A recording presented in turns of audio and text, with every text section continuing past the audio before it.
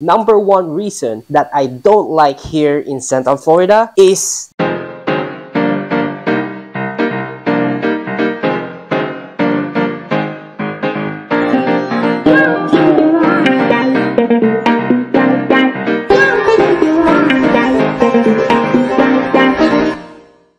What is going on family? This is RJ Bautista, your local Central Florida realtor with eXp Realty. Today, I will show you my most three things that I hate here in Central Florida. Not all about my video is all about how good Florida is and also how good is my area for buying or residing here in Central Florida. I just want to make honest with you what things that I don't like and maybe you don't like as well or if this Florida or Central Florida is right for you to live. But before I start in this video, if you're new to to channel, welcome, please subscribe, and the most important thing, you know that, smash that like button for me and share this video to all your family and friends, especially for those people who's thinking or on the fence of moving here in Central Florida. Maybe this is for them, or maybe it's for you, or maybe it's not. So without further ado, let's jump into it. Number one reason that I don't like here in Central Florida is traffic. Why and where? Traffic, as you know, I drive a lot as a realtor here in Central Florida. I visit visit different communities, different area, different city from point A, point B, point C, or even in Tampa area, I go there to check some stuff and visit my family there as well. So the most annoying, I would say, yes, annoying. Did I say annoying? So most annoying that I don't like here is I-4 traffic. So if you are a person who drives a lot and you don't really like the traffic, well, think about it. In I-4 which is connecting from Central Florida to all the way to Tampa or North Central Florida there's an I-4 there. And especially on the rush hour forget about the traffic or forget about the thing that you need to be on time if you are going point A point B because the traffic on I-4 is ridiculous. What do you mean by ridiculous? Like let's say if you are going from Central Florida all the way to downtown Florida and you want to use the I before affect a traffic there. Even though sometimes on the dead time i experienced this is just because like when i was planning to visit a neighborhood in downtown orlando which i have a client there before and then i have like in my gps saying oh it's only about from here in central florida where i'm located at in davenport area to the downtown florida or downtown orlando florida will only take me about 25 minutes. So once i get there to the i4 and as soon as i hit this exit number number 63 or 64 or 65 those were all the traffic getting jammed. For some reason i don't know they always have something there. That's the only thing for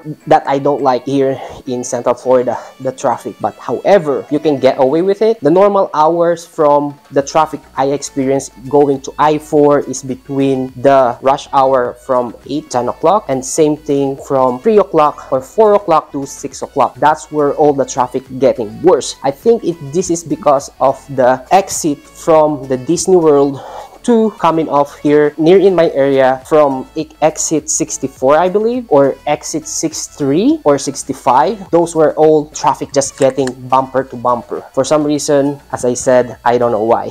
But if you are this person make sure that you think about the traffic. In this solution they have like different kind of highways or they called here turnpike. We have like the 417 turnpike where you can go around the back of the I-4 or we have different turnpike where you can connect in different side of the Orlando area. However, those turnpike have a fee, like a toll fee. You need to pay for that one from $1 to $1.50 to $2. It depends how big is your vehicle and how heavy. I think how heavy or if your vehicle is like small, obviously you're not paying more. But this is your option if you don't like really going to I-4. As for me, as far that I can avoid the I-4, I will do that one because I hate traffic. So that's my number one. And number two here is the inclement weather. So what do you mean like with inclement weather? As you know, we're Florida. We are on the sunshine state. However, we also have a inclement weather like typhoon hurricane, thunderstorm, all those stuff. If you don't know, I am from United Kingdom in Manchester to be exact. And in those particular location where I used to live, we have like 80% of rain during for whole year round. Imagine 80% like raining there. That's why I choose to move here so I won't have any problem with the rain. But we have like the hurricane season which will scare you especially if you are the person doesn't like the thunderstorm or lightning. Oh, think about this first because we have a lot of thunderstorm here and also lightning and heavy rains. Yes, think about that one because we have a summer season here from July, August, September, October, and I would say November. Those are the rainy season or the summer season which you will have a hurricane season at the same time. So from those months that I mentioned, if you are the person who doesn't like this rain or thunderstorm, make sure to consider this one as well before you moving here because you will experience a lot of this. I will give you one example when I was in the Sarasota beach area we experienced like a very good sunshine during that day and then after for a few hours staying there it become like really dark in the surrounded area while we having on something on the beach relaxing with family and stuff like that. And then it start raining and it start hammering down. Rain is there and a lot of winds and you will see thunderstorm either. So for that instance you might think whoa what's going on? And then this is the something that you need to think as well. This thunderstorm or whatever you experience like inclement weather it will just pass here like for only an hour two hours or maybe sometimes three hours. After three hours become sunshine again. Welcome to sunshine state again. That is weird. Yes if you're thinking about that i experience here a lot. So you will have like most of the sunshine here compared to the rain. However once they come here for a rain or thunderstorm for a few hours it will scare you. So think about that. That's my number two. And my last one is the home insurance prices. Okay if you are planning to move here and you want to buy a property as you know i'm a real estate agent i compare all properties and also the prices for my client what is the best for them. So if you're buying a property here they will have like a home insurance. You cannot buy a property here without a home insurance. And the home insurance here is more expensive compared to different state. Why? Because we have a risk of the inclement weather which could damage your property. And also in addition we have a flood zone area here so what is about this flood zone area? This is a bonus for you.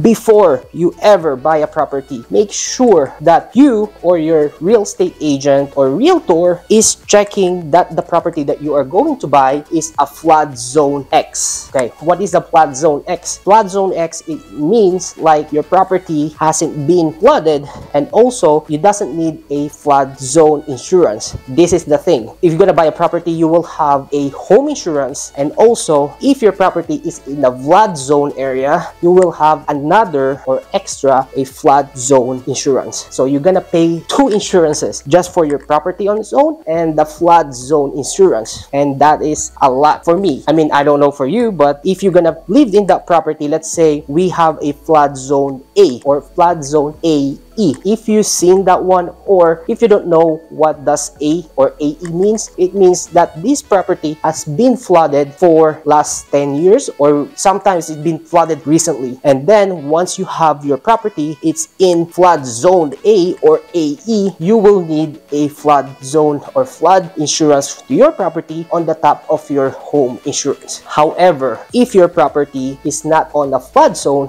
all you need to do is like you will have a regular home insurance but it doesn't mean your regular home insurance price is gonna be cheaper. However if your property is located near coast let's say Tampa Bay Tampa Bay Tampa Bay area or like something near in coast and then your property is not a flood zone which is good. However your home insurance will be more or expensive. Why? Because you will have a risk of a inclement weather like for example a hurricane hit that area where you want to live even though it's not a flood zone area. And this hurricane is like at least 100 miles per hour wind or 150 miles per hour wind. And hit your roof and your roof is just gone and how much will the insurance cost them to fix your house. Do you know like fixing a property, especially the roof side, from 1500 square footage for replacing the whole roof will cost the insurance for at least 15,000 or more to replace the whole roof. So that's why it's very risky for the home insurance if they are going to insure your property near coast. However, if you are going to live here in Central Florida, where I'm located at, so once the inclement weather or hurricane hit the coast first and then hit the second on the Central Florida, it's not much because you are far away to the coast and the home insurance will consider you as a home buyer to less than probably $100 a month lesser compared to the property who is close to the beach or close to the coast. Why? Because you are less risk or your property will be less risk compared to the property which near in the coast. I hope that makes sense. So I am not an insurance agent but I just giving you some idea if you are planning to move here in Central Florida. So this is the video for today. And the last question, if this is you, would you live here in Florida, specifically in Central Florida or in anywhere here in Florida? Let me know in the comment down below and I will try to give more information if you need to to make sure that Florida or Central Florida is right for you. This is the video for today guys. I hope this is helpful and useful and if you haven't subscribed please consider subscribe, like, subscribe, like, like, subscribe, share this video to all your family and friends and I would appreciate that. If you stay in this video until this end, comment down below hurricane so I could see how many people who watched this video until this end and I appreciate that one. Once again, thank you for watching. I'll see you on my next video. Peace.